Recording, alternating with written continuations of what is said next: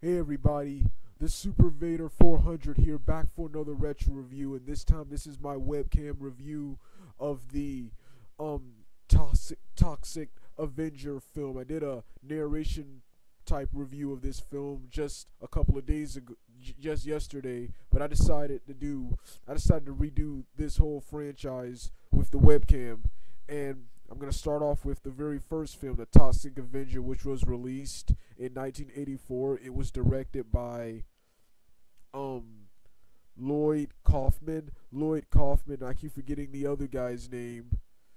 And it was released by an independent studio called Troma, who's released, who've done a lot of independent, low budget, um, cheesy, cheesy horror type um movies. This movie was released in 1984. Um, it was released to little fanfare. It didn't didn't get much attention, but then it became hugely popular on um.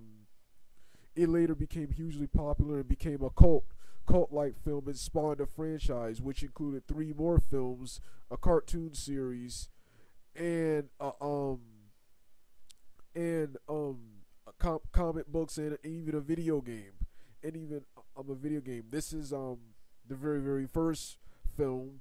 The Toxic Avenger film is about a nerdy kid named Melvin Junko who is the school's janitor. He is harassed by he is harassed by bullies. He is harassed by bullies constantly every day. On one certain day, one of the um females, I keep forgetting her name, but one of the females wants to um plays a horrible prank on him by having him dress by having him dress up in a pink tutu and telling him to meet her in a dark room where they can make out and she um instead of he uh, she they she leads him into a dark room and turns on the lights. When she turns on the lights, he is making out with an animal, and everybody is laughing at him making out an animal, making out with an animal while wearing a pink tutu.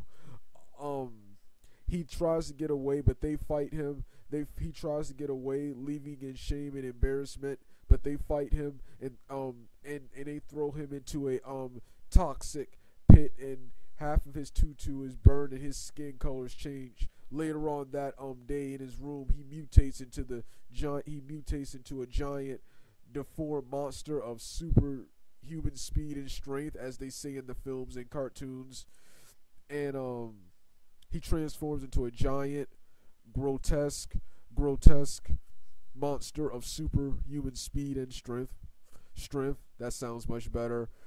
That's a much better description of the character. And then he um then he goes around um killing killing criminals who harass innocent people while also getting even with the people who wronged him in the um first place.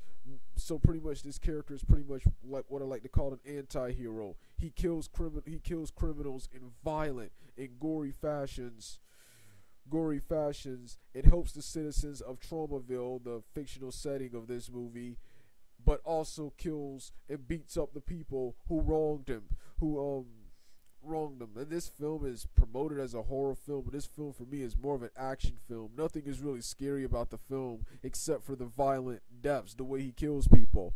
But um this was an awesome film. The Melvin character was relatable. And I just love the whole story. The whole story is um the whole story was awesome and unique and original. And um this reminds me of things I've been a huge fan of, like Teenage Mutant Ninja Turtles and X Men, and it also um and uh, all another thing about this film is that the characters in this film, this film is rated R and violent. Like I said, the death scenes are violent and um hard to watch, hard to watch, especially the end where he fights the corrupt mayor, where he confronts the com- com- com- the confronts the mayor and rips out his um rips out his gut during the um film continuing with the story. He meets a woman named um he meets a woman named sarah who is blind so she's pretty much the only one person who's not afraid of him.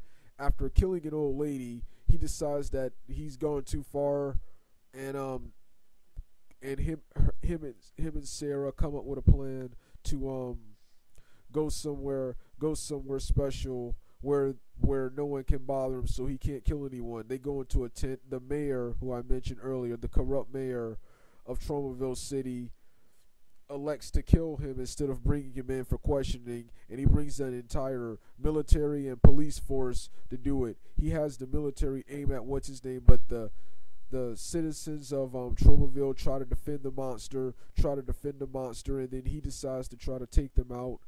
Try to take them out. The monster comes out and, like I said, confronts him and rips out his spleen, and the movie ends there.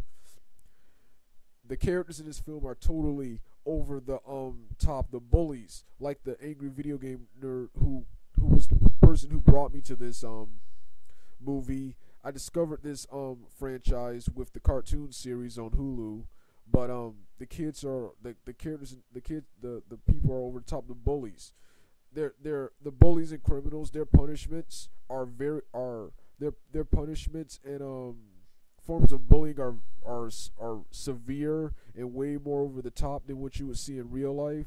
Like in one scene, two two two gang two um thugs come up to a cop come up to a cop and threaten to shoot his balls, threaten to shoot his balls in the shoot his balls before the um try to shoot his balls before the monster comes and attacks and beats the crap out of both of them. Then um earlier in the film, the the bullies who, the bullies who bully Melvin Junko, they run they they run over a kid. They run over a kid. they just delight in torturing the poor Melvin um character even more so than bullies would in real life. And um they beat up old ladies. They even try to steal Melvin Junko's mother's car. Like I said, it's just an awesome, entertaining, violent um film. Well, this is my review of um part one. I'm gonna review part two in a minute. Oh, and before I go, like I said, the makeup effects were awesome. The makeup effects were awesome. The costume designs, the costume designs were pretty good for the monster and the characters, and Melvin Junko's voice was awesome. I'm not familiar with any actors in this film because this is a studio's film series I've never heard of, Troma. I gotta learn more about them, but um, yeah, this was um my very very first review. I'm gonna review the second movie in a minute. All right, Doug out.